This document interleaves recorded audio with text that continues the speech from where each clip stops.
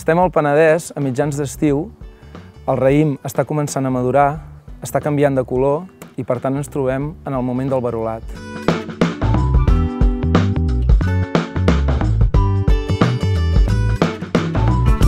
El verolat és un moment molt important que ens explica moltes coses.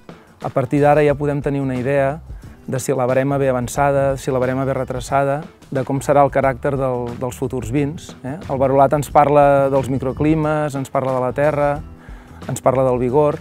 Eh? És un moment clau perquè el raïm, des de comportar-se com una fulla, i comença a acumular tots els sucres provenents de les fulles que donaran lloc als aromes, a la matèria colorant, als tanins, tot allò que dona el, donarà el caràcter dels vins únics que tenim aquí al Penedès.